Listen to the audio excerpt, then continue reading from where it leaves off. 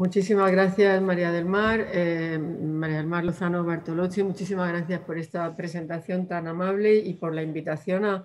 participar en estas jornadas sobre coleccionismo que, claramente van a ser una referencia en el futuro. No puedo mm, estar ahí con vosotros como me gustaría, en el Museo Helga de Alvear con todos vosotros, pero sí que, bueno, hoy quiero hablar de un tema Em, sobre el que llevo reflexionando, reflexionando un cierto tiempo y que creo que cobra eh, todo su sentido justamente en ese contexto, en relación con Helga, en relación con la trascendencia pues, social, cultural eh, de su proyecto como coleccionista. En, en, Cáceres, en Extremadura, pero también en la manera en la que concebimos la historia del arte y en el que concebimos bueno, los relatos contemporáneos.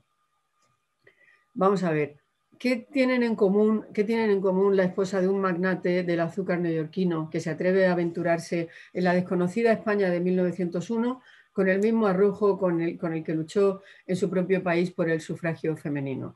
Por una parte, ¿Qué tiene en común esta mujer con una joven californiana que se instala con su hermano en París, que se convierte en escritora y en anfitriona de artistas y escritores de vanguardia y que se atreve a cambiar el sentido tradicional de las relaciones de pareja con la misma determinación que la gramática literaria anglosajona? O estas dos mujeres que tienen en común con la hija y sobrina de conocidos hombres de negocios eh, una hija que se decide a fugarse al medio artístico más bohemio de su tiempo en busca de la libertad de la que carecía en un mundo en el que todo lo que no fuese obligatorio estaba prohibido. O, por último, que tienen en común estas tres mujeres con una francesa que a su llegada al Estado americano de Texas, en los años 40, se asombra ante una sociedad que acepta una desigualdad social y económica basada en buena medida en la raza, aunque no solo en la raza, y decide contribuir a cambiar esa situación. Vamos a hablar de estas cuatro mujeres y vamos a hablar en términos generales de lo que ha supuesto el coleccionismo eh, femenino, especialmente, aunque no solo el femenino, eh, como creador de relatos en la historia del arte y como creador también, como digamos, consolidador de esos relatos a través de las instituciones que conocemos como museos. ¿Qué tienen en común estas cuatro mujeres, estos cuatro personajes? Pues en realidad muchas cosas. Por supuesto, una fuerte personalidad, un gran coraje, una determinación y una capacidad de iniciativa que les hace estar muy por encima de las convenciones de su entorno o estar preparadas, en todo caso, para saltárselas sin dudarlo. Todas ellas son cualidades que podríamos resumir en una especial habilidad, y esto es muy importante, para reinventarse, o simplemente para tomar las riendas en ese proceso que todos emprendemos a lo largo de nuestra vida, que es el de definir una imagen propia. La diferencia es que ellas no dejaron que ese proceso dependiera de lo que otros o las circunstancias iban decidiendo por ellas. No. Eh, la diferencia es que fueron ellas las que decidieron cómo querían definirse, quién querían ser, qué lugar querían ocupar en el mundo. Y en todos los casos, en ese proceso jugó un papel muy importante el coleccionismo de arte, que como veremos, acaba siempre por ser, ya lo, he hablado de esto alguna vez, incluso en Cáceres, el coleccionismo acaba siempre por ser el mejor retrato de la persona que hay tras él. Pero en este caso, y en el caso de otras mujeres, además vamos a ver que el coleccionismo tiene otras motivaciones y significado. Todas las cualidades de las que hablábamos determinación, capacidad de reinventarse, de proyectar una imagen de sí mismo a través de las colecciones, son aplicables en realidad a los coleccionistas en general, hombres y mujeres. En todos ellos hay una parte de narcisismo, hay una parte de construcción, pero en el caso de estas mujeres hay algo más. El coleccionismo como una vía no solamente para redefinir su propio mundo, sino también para redefinir el mundo. Y con esto me refiero a cuestiones políticas, sociales, culturales, es decir, cuestiones que atañen a la comunidad. Claro, esa idea puede resultar paradójica si pensamos en el coleccionismo como algo esencialmente ligado a un goce estético, a un goce íntimo, privado, pero no lo es tanto si pensamos que ese deseo de crear un conjunto de obras que pudiese responder a unos gustos, a unos criterios personales, en muchos casos reflejaba la voluntad de, crear, una voluntad de crecer y de progresar, pero también de lograr cierta visibilidad que no puede entenderse como algo limitado al escenario del hogar, que era el lugar al que parecían destinadas las mujeres a finales del XIX y desde luego durante una buena parte del siglo XX. Algunas coleccionistas se decidieron a dar un paso más allá y del mundo de sus salones primero y del de las galerías después pasaron a participar en actividades culturales que tuvieron un importante peso en su entorno. Obviamente aquí entra también Helga de Alvear. Así ocurrió sobre todo en el contexto americano, en donde algunas realizaron importantes donaciones que enriquecieron a museos ya existentes o incluso sirvieron de impulso inicial para la creación de otros.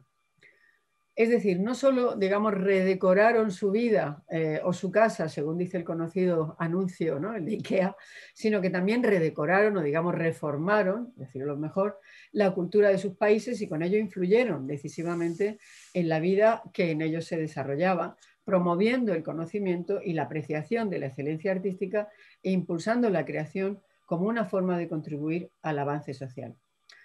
Como ejemplo muy claro de lo que estoy diciendo, basta con pensar en muchos de los grandes museos que hay en Nueva York que se deben realmente a iniciativas de coleccionistas femeninas. Cuando pensamos en el MoMA, tenemos que pensar en mujeres del círculo de los Rockefellers como Abby Eldridge Rockefeller o como Mary Queen Sullivan. Cuando pensamos en el Guggenheim, eh, luego hablaremos de, Peggy, pero antes de eso, hablando del Museo de Solomon eh, Guggenheim, no sé si puedo quitarme de aquí mi imagen, a ver, para que podamos ver la cara de Guggenheim. Eh, bueno, pues hay que pensar, por supuesto, en la baronesa Hila von Ribey, que fue quien, quien, eh, pues quien introdujo a Peggy, perdón, quien introdujo a, Solomon Guggenheim en la apreciación del arte abstracto y quien promovió este tipo de museo con esta arquitectura tan peculiar que marcó tanto eh, la, vida de los museos posteriormente sobre todo también esa idea de una arquitectura potente que marcara la identidad de un museo. Eso también se lo debemos de alguna forma a la relación de Hila von con, eh, con eh, Frank Lloyd Wright. Eh, y por otra parte, pues pensemos también, por ejemplo, nos falta aquí un caso, bueno, tenemos a Peggy, por supuesto, pero ahora hablaremos de ella, Peggy Guggenheim, claro, obviamente la creadora del Museo Guggenheim de Venecia, complementario en muchos casos al museo que había hecho su tío en Nueva York. Y también muy importante, por supuesto, Gertrude Vanderbilt Whitney, la creadora del Museo Whitney. Ahí tenemos la sede más emblemática que tuvo el Museo Whitney en Nueva York, ahora, eh, bueno, en, la, Madison Avenue, ahora sede del Metropolitan Museum. Bueno, es, pero esto es muy importante. En algunos casos, las coleccionistas llevaron su implicación social aún un paso más allá. Los casos que hemos mencionado al principio, es decir, Louisine Habenmayer, Gertrude Stein, Peggy Guggenheim o Dominique de Menil, son muestras de que el coleccionismo no solamente tuvo un efecto liberador en las mujeres que lo practicaron, sino que ellas también quisieron extender ese efecto a su entorno, incluso sobrepasando los límites de lo propiamente artístico. Muchos coleccionistas, en general masculinos y femeninos, es decir, en general, eh, se implicaron en causas más o menos esperables por parte de todo coleccionista atrevido, como el apoyo a la innovación artística o como el rescate de determinadas formas de creación del pasado. En el primer caso encontraríamos a Sergei Shukin, eh, que llevó a Moscú innovadoras obras de arte de Picasso o de Matisse que inspiraron la renovación del arte ruso. En el segundo caso, tendríamos que hablar, por ejemplo, de Kostakis, eh, que decidió recuperar el arte de los constructivistas y suprematistas desde su humilde posición de chofer de embajadas en Moscú, llegando a salvar de su destrucción muchas piezas de este periodo, ahora unánimemente alabado, pero entonces, en los años 40, 50, 60, casi perseguido en la URSS, en la Unión de Repúblicas Socialistas Soviéticas, creando además una colección que luego donó al Museo Tetriakov al Museo Tetriakov, que formó en buena medida mm, la visión que ahora tenemos de aquel arte. Bueno, pero en ese proceso liberador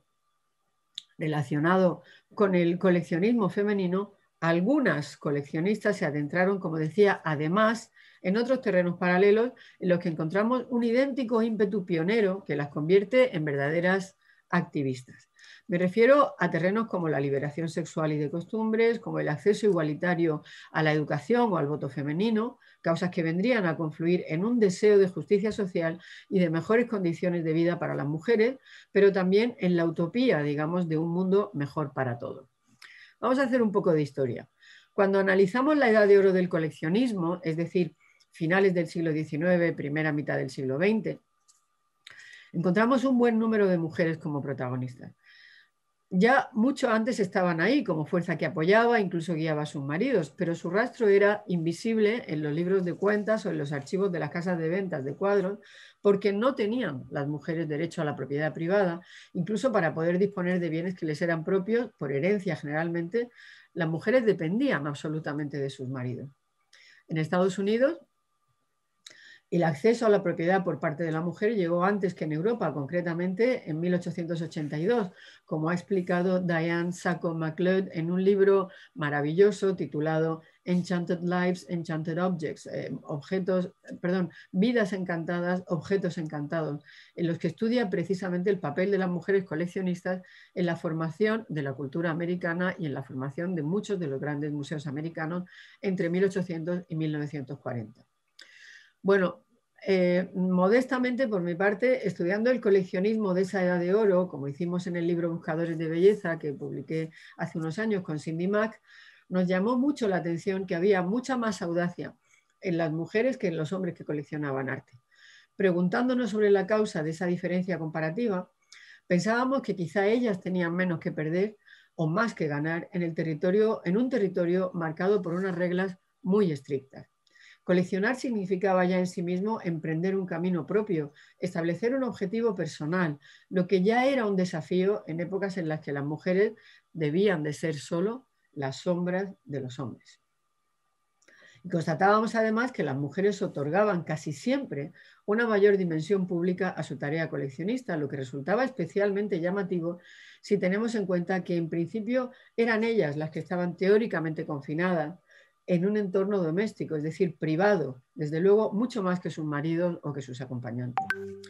Por eso llegamos a la conclusión de que para ellas, en efecto, el coleccionismo suponía algo más suponía una forma de visibilizarse, de liberarse, de desmarcarse de una situación en la que todo estaba codificado. A través de cuatro ejemplos, de estos cuatro ejemplos que enseguida vamos a ver, voy a proponer la idea central de esta conferencia, que es que las coleccionistas más interesantes pronto iban a descubrir ese efecto liberador y que eso solo cobraría sentido si iban más allá de sí mismas, es decir, más allá del goce individual eh, cuando el coleccionismo adquiría una verdadera dimensión social era cuando verdaderamente para ellas cobraba todo su sentido. Bueno, Christophe Pomian escribió hace años, eh, y por lo que llevamos dicho se puede deducir que estoy totalmente de acuerdo con él, que los valores del coleccionismo, cito, se, se sitúan entre lo visible y lo invisible. Podemos decir, como dicen ahora los economistas, entre lo tangible y lo intangible. Creo que el primer señuelo para el coleccionista, el primer atractivo, es generalmente estético. Eso está claro, la belleza de una obra de arte. Es incluso físico, el deseo de la cercanía con el objeto. Todo eso es tangible, pero es evidente que la posesión tiene para él significados que van más allá de lo tangible. Desde el mismo momento que entra en una colección, una pieza se convierte en algo que es mucho más que una obra de arte la elección de un coleccionista la transforma, la descontextualiza y quizá la eleva, cambiando incluso la fortuna crítica de un artista presente y hasta del pasado, como vamos a ver. Pero a su vez la pieza transforma al coleccionista, modifica su imagen y nos informa sobre quién es y sobre cómo se sitúa en el concierto del mundo. Coleccionista y colección se influyen, se recrean, se crean o se recrean mutuamente.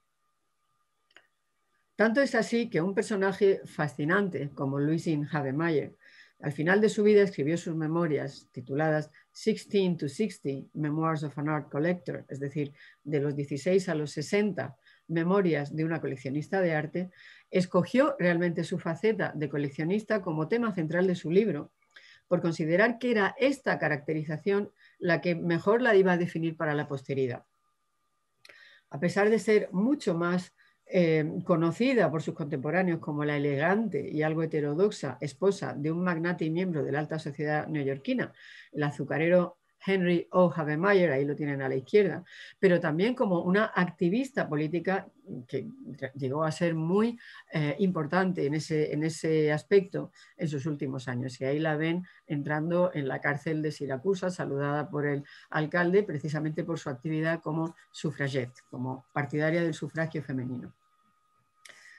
Louisine Helder Havemeyer fue pionera en muchísimos sentidos. En la historia del arte tiene desde luego un papel importante por su temprana apreciación eh, de la pintura de los impresionistas entre los coleccionistas americanos. Gracias a sus adquisiciones, muy tempranas también, como digo, y al establecimiento del marchante Durand Ruel en Nueva York, los impresionistas comenzarían a ser considerados y luego incluso idolatrados por otros coleccionistas americanos.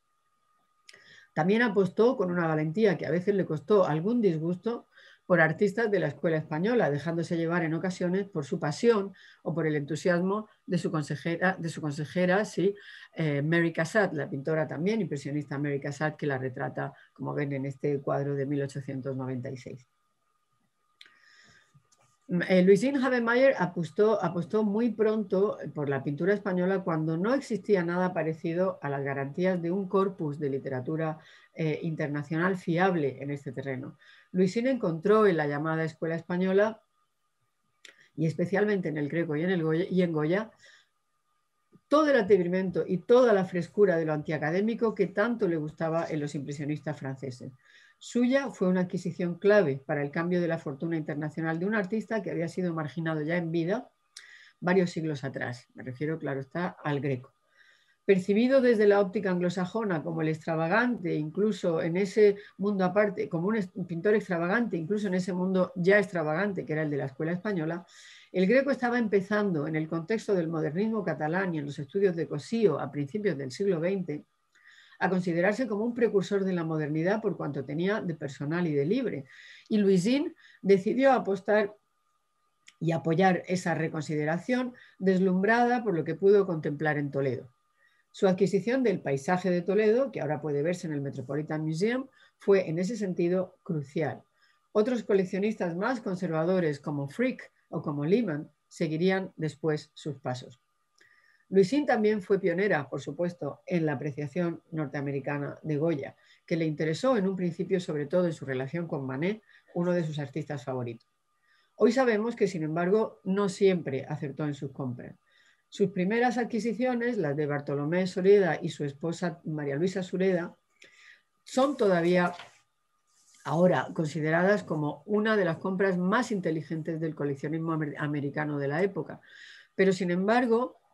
las llamadas majas en el balcón, que ella consideraba la joya de su colección, resultaron después no ser tan claramente atribuibles a la mano de Goya. Luisín sabía a lo que se arriesgaba cuando compraba directamente en España, un lugar sin las mínimas garantías que, existía, que exigía el comercio internacional de arte. Pero era una mujer dispuesta a correr riesgos y a tomar sus propias decisiones, incluso cuando su marido le aconsejaba prudencia, incluso cuando estas decisiones pudiesen acabar en fracaso el proceso, la búsqueda, la toma de decisiones, el vértigo de adentrarse en territorios aún inexplorados, de abrir caminos por lo que más tarde otros podrían transitar. Eso era lo importante. Es importante señalar en ese sentido que en el caso de Goya le atraían no solo las cualidades estéticas de su obra, sino también su propio compromiso social y político, que mostró tan claramente en sus estampas ¿no? a la sociedad en la que vivió, la España de finales del 18 y de comienzos del 19. Un compromiso en el que Luisín veía reflejadas sus propias aspiraciones de reforma social para Estados Unidos. Igual que en el terreno del coleccionismo, Luisín corrió grandes riesgos también en sus posiciones políticas, que a veces lo condujeron igualmente a situaciones no deseadas. También aquí lo importante no era tanto la meta como el camino recorrido. Eh, basta leer en sus memorias, leer sus memorias para entender que lo importante era para ella el proceso de coleccionar entendido como descubrimiento, como aventura, que tenía una recompensa en sí misma, independientemente de los logros finales, por importantes que eso fuesen. Y en su caso realmente fueron muy importantes. Y basta también leer sus memorias para entender que ese proceso encontraba una especie de camino paralelo, una avenida paralela en sus actividades como sufragette, en las que siempre estuvo dispuesta a pagar el precio a llegar hasta las últimas consecuencias. La audacia de Luisín tanto en el terreno de sus gustos artísticos como en el terreno de sus posiciones políticas, la singularizaba, la alejaba, de hecho, en el contexto de la alta sociedad neoyorquina a la que por su situación económica pertenecía. Una generación más tarde, otra mujer procedente de esos mismos círculos, pero deseosa de desembarazarse de sus encadenantes preceptos, preceptos se trasladó a París, la ciudad donde Louisine Havemeyer había, trabajado, había viajado tantas veces a realizar sus expediciones coleccionistas. Era ya 1920 y aquella mujer era Peggy Guggenheim. A diferencia de Louisine Havemeyer, Peggy llegó para quedarse, para formar parte de un ambiente artístico bohemio, inicialmente de la mano de un artista oscuro en todos los sentidos, Lawrence Bale, con quien llegaría a casarse y más tarde también llegaría a liberarse de él. Peggy venía de una familia en la que todo parecía estar dispuesto de antemano y después de una infancia nublada por la pérdida de un padre adorado en el naufragio del Titanic, Peggy acabó por encontrar en el inexplorado mundo del arte de las vanguardias, es decir, del imprevisible arte del presente, precisamente una puerta de salida de todo lo previsible. Peggy no comenzó a coleccionar hasta que tuvo una cierta edad, es decir, lo suyo no fue una locura juvenil pero sí fue algo que respondió a esa necesidad de marcar un territorio propio y diferenciado que suelen sentir los jóvenes, entre otras cosas, para diferenciarse de sus padres, de su familia, de su entorno. En su colección, quizá más que en ningún otro caso, pesó el, digamos, quedó el pozo de sus intensas vivencias personales. Pero si el devenir artístico marcó en buena medida las directrices de la colección de Peggy, en ella podemos rastrear, por ejemplo, el ascenso del surrealismo, la experimentación como forma de creación. La propia Peggy incidió también de manera crucial en el curso de los acontecimientos cuando, como galerista, sobre todo en Nueva York, pero también antes en Londres, por ejemplo, en Nueva York con su galería Art of this Century, ya durante la Segunda Guerra Mundial, eh, decidió apostar por movimientos como el expresionismo abstracto con personajes como un joven y atormentado Jackson Pollock, que quizá sin los esfuerzos disciplinadores de su mujer, la pintora Lee Krasner, y quizá sin el apoyo de eh, Peggy Guggenheim, pues nunca hubiera llegado a producir la obra mm, por la que realmente le conocemos ahora. Se ha dicho muchas veces, como quitando mérito a Peggy, que en aquella época entre sus asesores estaban ni más ni menos que Duchamp o Breton. Y quizá uno de los talentos de Peggy fuera precisamente ese, el de saber coleccionar también a las personalidades de las que debía rodearse en la vida, el de tomar sus propias y muy acertadas decisiones precisamente en ese terreno. Bueno, atrás hemos dejado también a otra americana en París, la escritora eh, Gertrude Stein, uno de los personajes de ese París que, Hemingway describía como una fiesta. La experiencia vital de Gertrude Stein ha sido polémica tanto por sus acciones, por sus opciones artísticas, a menudo criticadas como arbitrarias, por los artistas que se sintieron desatendidos por ellas, como Matisse o como Braque. Ha sido polémica también por sus posiciones políticas, no demasiado definidas, pero siempre bajo sospecha por las comparativamente confortables condiciones de su permanencia en la Francia ocupada. También, como enseguida veremos, incluso para los más cercanos resultó difícil aceptar su posición en otro terreno, el de su propia relación eh, abiertamente homosexual con Alice Toklas, otra americana, a través de cuya voz explicaría Stein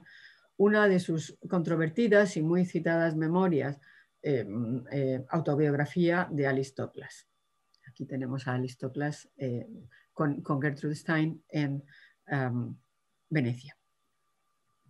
Bueno, sea cual sea la valoración que se haga de Gertrude Stein, no puede negarse que tuvo un papel histórico que supera el ámbito del estricto coleccionismo de arte. Su fuerte personalidad, su independencia de criterio están fuera de toda duda y quedan de manifiesto no solo en sus preferencias como coleccionista y en sus propuestas literarias, dos facetas que ella entendía como íntimamente relacionadas, sino también en todas las facetas de su vida, que siempre supusieron una defensa ultranza de la libertad individual. Quizá porque en las ciudades americanas en las que ella vivió había sentido la, la estrecha vigilancia de una sociedad muy puritana, tanto en gustos artísticos como en costumbres, la decisión de instalarse en París resultó absolutamente en ese caso imprescindible.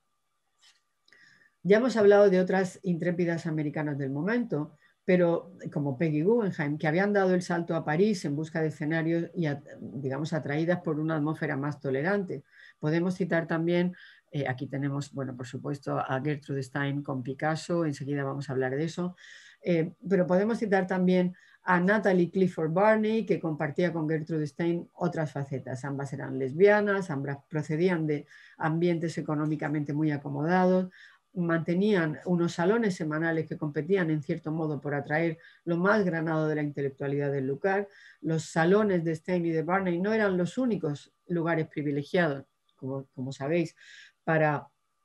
el intercambio de ideas entre artistas, escritores o bohemios expatriados. Otra norteamericana, Sylvia Beach, tenía un establecimiento abierto al público llamado Shakespeare and Company, una librería que vendía publicaciones en inglés y que actuaba también como biblioteca. Bueno, Hemingway acudía ahí,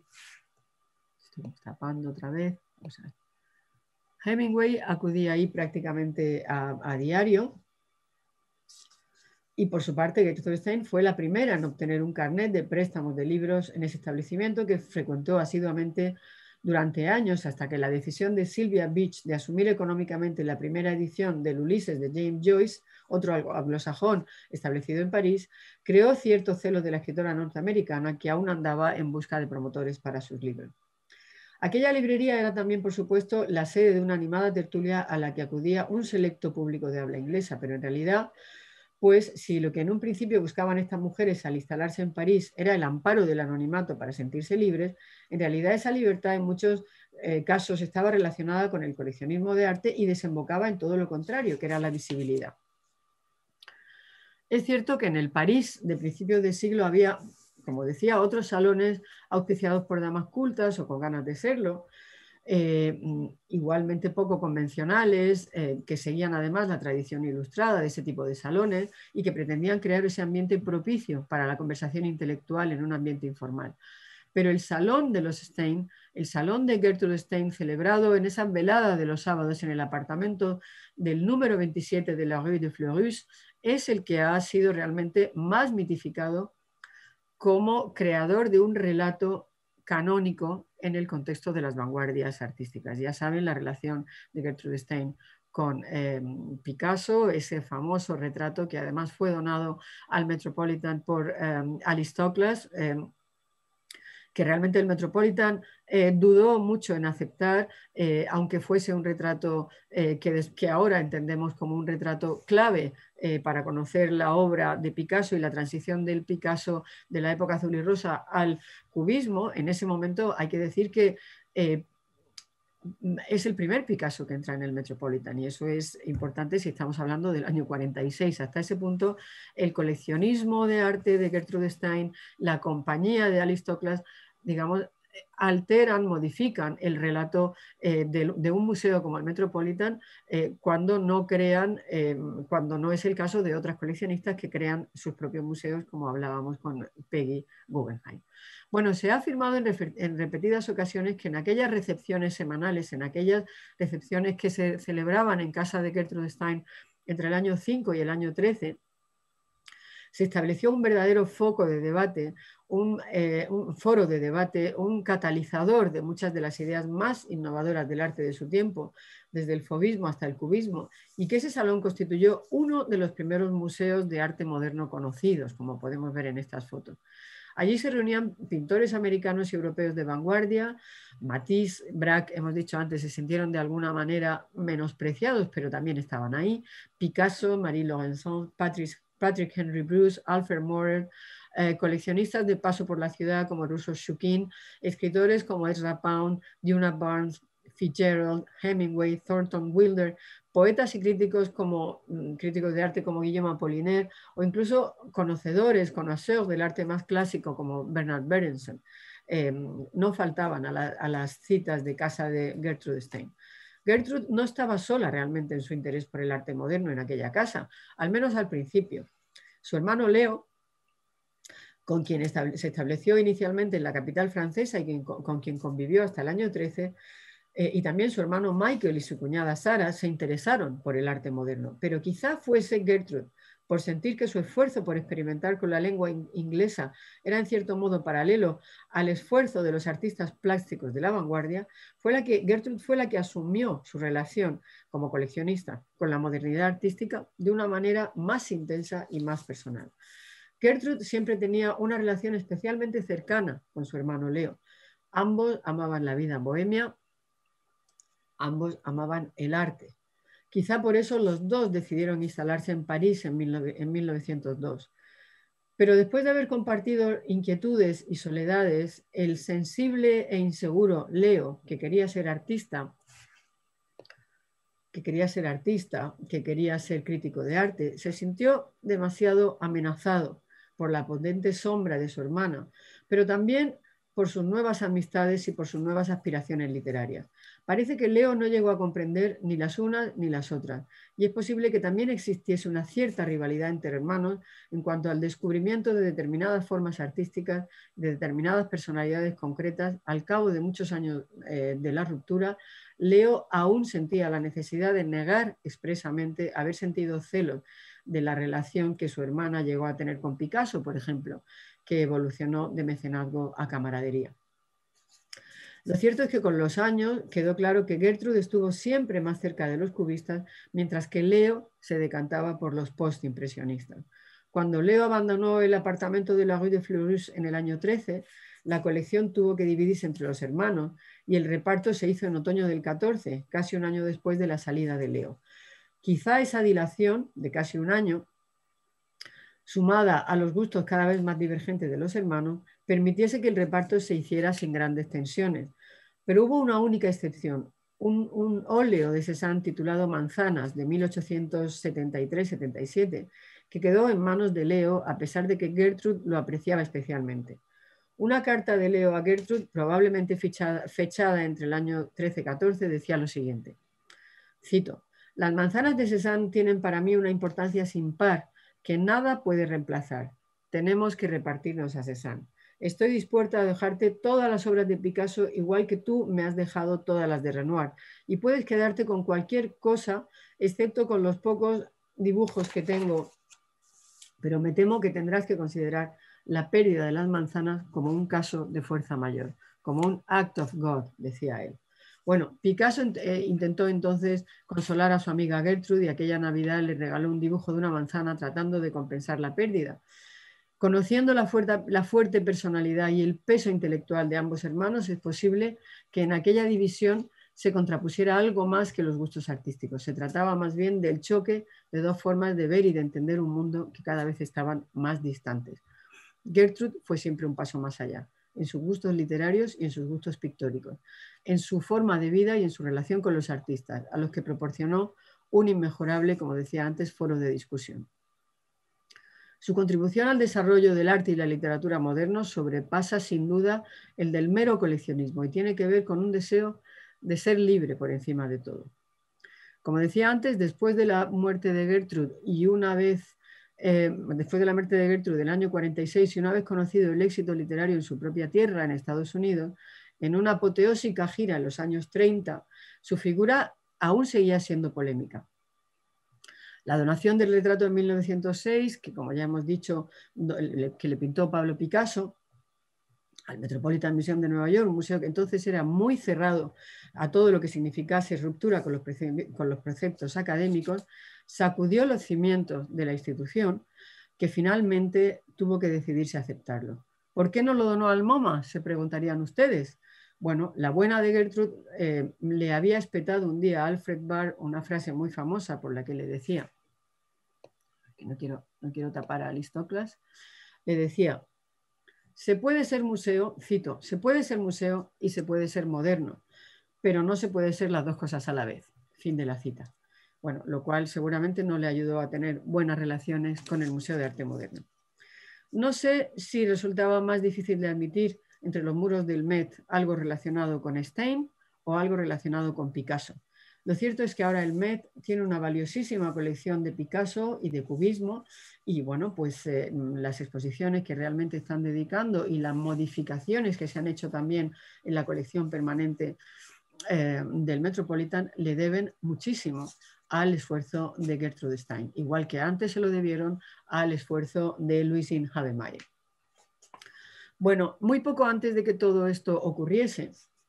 antes de algo antes de la muerte de Gertrude Stein y antes de que el Met se planteara como un verdadero problema la aceptación del retrato de eh, Gertrude Stein por Picasso, hoy una de las obras más, más, más populares de su colección, otra mujer, Dominique de Menil, eh, recorría el camino inverso al de Peggy Guggenheim o al de Gertrude Stein, partiendo de París para instalarse en Estados Unidos. Dominique de Menil unos, unos años antes había empezado a coleccionar arte y había encontrado en esa actividad una vía inmejorable para llevar a cabo lo que ella entendía como una necesaria reforma social. De hecho, su trayectoria tiene que entenderse inicialmente en relación con las características de una comunidad social en la que muy pronto arraigaron los de Menil, John y Dominique. Me refiero a la ciudad de Houston, en Texas, en la que consiguieron marcar una verdadera diferencia en campos aparentemente diversos como la cultura y los derechos civiles, pero estrechamente ligados gracias a las cualidades de redención social que podía tener el arte, según lo concebían los de Menil y especialmente Dominique. Recién llegado Jean de Menil le dijeron que Houston era un desierto y él respondió, bueno, es en el desierto donde ocurren los milagros. Los de Menil llegaron a Houston por separado. John se vio obligado a dejar Europa antes por su implicación en la resistencia francesa y Dominique, junto a los hijos del matrimonio, se reunió con él algo más tarde. El viaje de Dominique eh, eh, atravesando Estados Unidos y hasta Houston marcó un punto de inflexión en su vida. Decía, aterricé en, junio en Nueva York en junio de 1941 y llegué a Houston, Texas, poco después. En esa época la segregación estaba firmemente establecida en el sur como una ley natural. La experiencia fue un shock. Viajando de Nueva York a Houston en tren, me encontré en un vagón abarrotado de soldados. Me mudé a otro menos concurrido, vacío excepto por la presencia de dos, tres o cuatro negros. Enseguida un revisor me dijo que no podía quedarme ahí. Había cruzado la barrera del color. Fin de la cita. Desde su primer contacto con América, Dominique de Menil fue consciente de las enormes diferencias que existían entre aquella sociedad y la europea. Los de Menil lucharon por combatir los aspectos más negativos de aquella situación y supieron hacerlo aprovechando las posibilidades que su nueva posición les brindaba. John eh, se había convertido en el presidente de una eh, compañía, Schlumberger Overseas y Schlumberger Surenko, las dos ramas de la empresa de servicios petroleros que la familia de Dominique tenía y que, bueno, pues habían trasladado su cuartel general a Houston. Los de Menil se convirtieron pronto en, central, en figuras centrales de la vida social de la ciudad, en la que llegaron a hacerse notar como verdaderos activistas. Quizá lo primero en hacer visible su deseo transformador fue el encargo de su propia residencia, aquí la tienen, a Philip Johnson a finales de los 40, una de las primeras en seguir los principios de la arquitectura moderna, racionalista, en, Texas. Los vecinos se quejaban de los extraños materiales de aquella casa, de su atrevido colorido en contraste con eh, su austeridad formal y sobre todo de su techo plano, una verdadera rareza en aquel contexto que, como tantas otras iniciativas de los de Menil, estaba destinada a crear una tendencia capaz de cambiar los ámbitos más enraizados. Aquella casa fue decorada por un diseñador de moda, Charles James, que y recibió innumerables visitas de artistas, de arquitectos, de científicos, de activistas de los derechos civiles, pero también acogió a una creciente colección de obras de arte que a partir del 45 habían empezado a reunir los de Menil. Las enseñanzas de un teólogo, eh, el teólogo Yves Congar, sobre ecumenismo, iban a marcar en cierto modo el sentido de la colección formada por bloques muy diferenciados pero capaces de establecer un fértil diálogo. Como ocurriría en la sociedad ideal a la que aspiraba Dominique de Menil, en la colección convivirían de forma natural grupos muy diferentes, arte de culturas antiguas, no tanto el clásico, sino más bien el anterior y el posterior al periodo grecorromano, arte de las culturas tribales, arte europeo de los siglos XVII y XVIII, arte colonial del Nuevo Mundo y sobre todo arte del siglo XX. A todo ello deben añadirse infinidad de obras sobre papel, grabados, fotografías, libros raros, que ocuparían casi la mitad del número total de piezas de la colección. Pero al esfuerzo de los de Menil, como ya el esfuerzo de los de Menil no se limitó, como ya se ha dicho, a la creación de una colección privada, por mucho que ésta llegase a ser una de las más importantes de Estados Unidos, con 10.000 piezas de diversas épocas y estilos, más de 10.000 piezas. Empujados por la constatación de la ausencia de una verdadera comunidad artística y cultural en la ciudad de Houston, en las décadas de los 50 y 60, los de Menil decidieron promocionar el arte moderno mediante exposiciones celebradas en la Contemporary Arts Association, una institución que ellos contribuyeron a crear y que más tarde dio lugar al Museo de Arte Contemporáneo. De nuevo, la creación de instituciones, la, institucionalización de la cultura del arte moderno, mm, eh, digamos, promocionada por coleccionistas de arte. En 1954 se creó la Fundación de Menil, cuyo propósito era promover fines religiosos, sociales, literarios, científicos y culturales. Ese mismo año habían realizado una, donación a la pequeña Universidad de San Tomás, aquí los tienen a los de Menil con, sus, eh, con, algunas de las piezas más importantes de su colección. Y aquí quiero también enseñarles una pieza muy curiosa. Eh, en realidad, cuando compraron este Max Ernst, eh,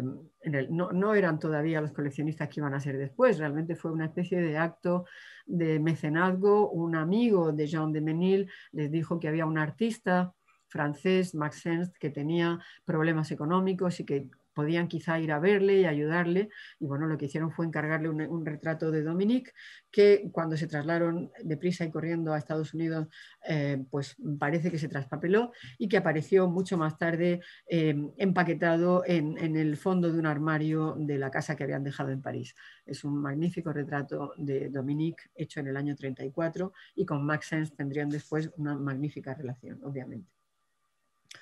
Bueno, como digo, hicieron una pequeña donación a la, eh, University of St. Thomas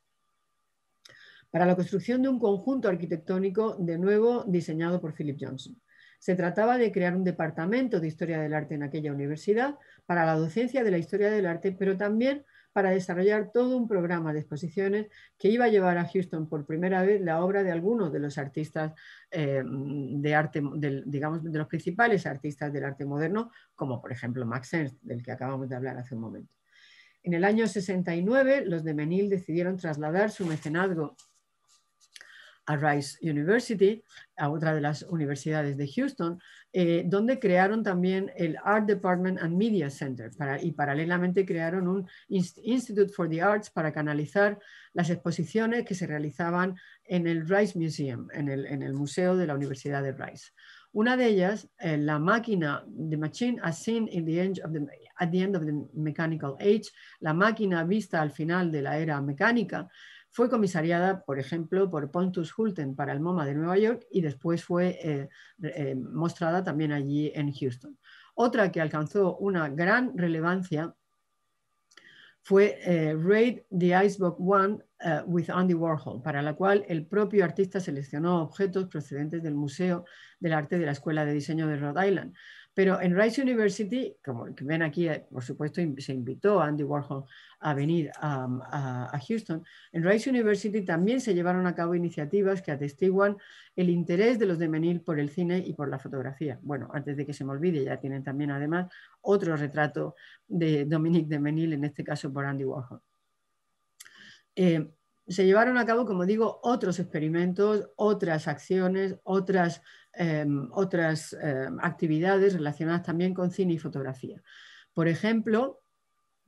se contó con la docencia y con la colaboración de cineastas como Roberto Rossellini, Bernardo Bertolucci, Michelangelo Antonioni, Jean-Luc Godard, Ola Belogun, James Blue, Jim McBride o Colin Young. Respecto a la segunda parte, digamos, se invitó a fotógrafos como Henri Cartier-Bresson para documentar eventos ciudadanos de Houston y para exponer su obra. De ese modo, la fotografía se empezó a convertir también en una importante parte de la colección de Menil. Pero los de Menil estaban sobre todo convencidos, especialmente Dominique, en la capacidad redentora del arte y de la cultura y sobre todo en la capacidad redentora del arte y de la cultura a través de la educación. Su visión trascendente de la experiencia estética porque consideraban al arte como el mejor medio de hacer visible lo invisible, y su fuerte sentido de compromiso con la comunidad, acabarían por fundirse de manera natural en un objetivo de carácter social, la lucha por los derechos civiles en el sur de Estados Unidos, algo que posteriormente se ampliaría a la lucha por los derechos humanos en todo el mundo. Lógicamente, sus acciones en Houston se centraron inicialmente en el tema de la segregación racial, ese tema que había golpeado a Dominique incluso antes de llegar a Houston. Llevado al campo de la historiografía y a la apreciación artística, la preocupación por el lugar de la raza negra en la sociedad occidental, lo que era equivalente a la preocupación por la dignidad humana en general, dio paso en 1960 a un proyecto de investigación titulado The Image of Black in Western Art, que, posteriormente pasó a ser eh, tutelado desde Harvard University y que se centró en recopilar y estudiar las representaciones de los miembros de la raza de los afrodescendientes en el arte occidental. Se trataba, en suma, de restaurar y reconocer su papel, tan a menudo negado por la historia, en el desarrollo de la cultura y de la memoria de Occidente. En, las palabras, en palabras de Dominique, y cito, se trataba de el reconocimiento de huellas concretas de una existencia pasada, ya sea trágica o noble, y es una restitución de vida desde hace tiempo. Fin de la cita. Bueno, ese proyecto dejaría una impronta muy importante en la colección de Menil, dando lugar a un gran grupo de imágenes con representaciones de personajes afrodescendientes de diversas épocas y en diversos estilos del arte occidental. Pero asimismo, en el año 71, todo esto dio lugar en un antiguo cine situado en un barrio de Houston, de mayoría afroamericana, eh, el Deluxe Theater, que se convertiría en sede de una exposición de artistas contemporáneos también afroamericanos fue el famoso Deluxe Show. El cine se llamaba Deluxe, aunque parece muy poco lujoso en el estado de abandono en el que estaba, y bueno, para ello Dominique de Menil se trajo a algunos de los más importantes em, críticos de arte, aunque habría que decir aquí, bueno, pues que curiosamente volvían a ser podríamos decir, en el contexto, digamos, mm, de la historiografía actual, em, em, masculinos, blancos, heteros, etc.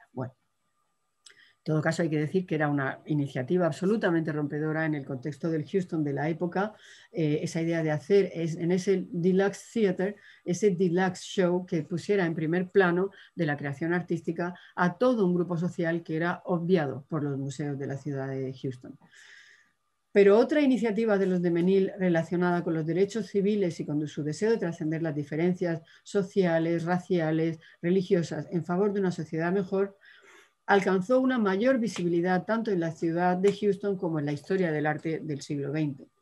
Me refiero a la construcción de la famosa, de la célebre Rothko Chapel y a la, a la colocación frente a ella del no menos célebre Broken Obelisk, la escultura realizada por Barnett Newman en la década de 1960. Los de Menil se ofrecieron a pagar una parte del coste de la pieza de Newman para regalarla a la ciudad de Houston en 1969 con una, única condición, que fuese dedicada a Martin Luther King Jr., recientemente asesinado, el gran activista por los derechos civiles. Ante el rechazo del ayuntamiento que levantó una agria polémica, los de Minil decidieron comprarla ellos mismos para su propia colección y situarla en un terreno de propiedad de la de Menil Foundation,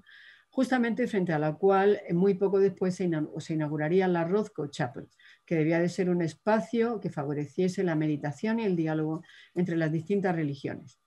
La arquitectura estaría en buena medida determinada por la visión de Rothko, que realizó una suite de pinturas abstractas de gran contundencia, con sombrías tonalidades propias de sus últimas obras. La Rothko Chapel fue finalmente inaugurada en el año 71 un año después de la muerte del artista, con la presencia de miembros de varias religiones. La implicación de los de Menil en las causas sociales, especialmente de Dominique, eh, fue continuada después en solitario por la propia Dominique después de la muerte de su marido en el año 73. La inauguración de la Rothko Chapel marcó un punto de inflexión en la presencia de los de Menil en la comunidad. Y así, siguiendo el espíritu de la Rothko Chapel en favor del diálogo espiritual y de las causas sociales, en 1986 se estableció la Carter Menil Human Rights Foundation para promover la protección de los derechos humanos en todo el mundo. Pero también supuso un germen de lo que después sería el museo dedicado a la colección de Menil, concebido e inaugurado ya por Dominique en solitario, después de la muerte de su marido, que significaría de algún modo la culminación de la actividad coleccionista y de la proyección pública de los de Menil en el terreno cultural. Dominique de Menil murió en Houston el 31 de diciembre del año 97, 1997. Dos años antes de su muerte, en el año 95, se había añadido otro espacio a lo que ya era todo un campus destinado en Houston a las artes, la Cy Twombly Gallery, la